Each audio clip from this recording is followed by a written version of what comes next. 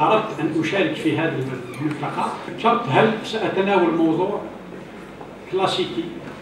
ما هي اختصاصات المحكمة الدستورية؟ ما هي كذا؟ ملتقانا اليوم موسوم بدور المحكمة الدستورية في الجزائر في حماية الحقوق والحريات. حقيقة هذا الموضوع كما قلت يأخذ تميزه من عدة جوانب. التميز الأول هذه المسألة أن المحكمة الدستورية هي تعتبر مؤسسة دستورية مستحدثة لأول مرة في تاريخ الدولة الجزائرية. يعني أنه سابقا كان يعرف معنا بالمجلس الدستوري. يعني أنه في تعديل الدستوري 2020 اعتبرت المحكمة الدستورية كأول مؤسسة على أعلى هرم مؤسسات الدولة باعتبارها هيئة رقابية وعندها اختصاص اختصاص أخرى في مجالات معينة راح نحاول أن نعرج عليها.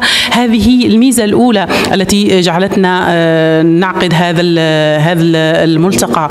في الحقيقة هذا الملتقى يأتي ضمن سلسلة الملتقيات التي سطرت خلال هذا الموسم الجامعي من طرف كلية الحقوق والعلوم السياسية. وهو ملتقى مرتبط بدور المحكمة الدستورية في حماية الحقوق والحريات في الجزائر. هذا الملتقى يندرج ضمن الفلسفة العامة لكلية الحقوق وهو أننا دائما نحاول نشرك معنا الهيئات الرسمية في هذا النوع من الملتقيات لأن دور الباحث العلمي ودور الأستاذ ليس فقط هو ليس منحصرا فقط في تلك الدروس والمحاضرات التي يلقيها على الطلبة بل يجب عليه أن يشارك في هكذا ملتقيات ومن ثم الخروج بتوصية هامة ومهمة تقدم دائما للهيئات الرسمية لكي تستفيد منها.